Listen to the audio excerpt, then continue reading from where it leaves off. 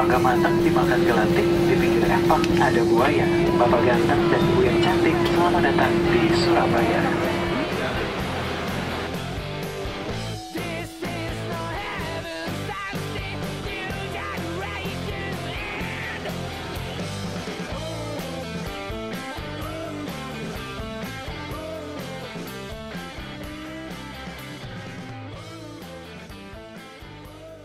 Thank you.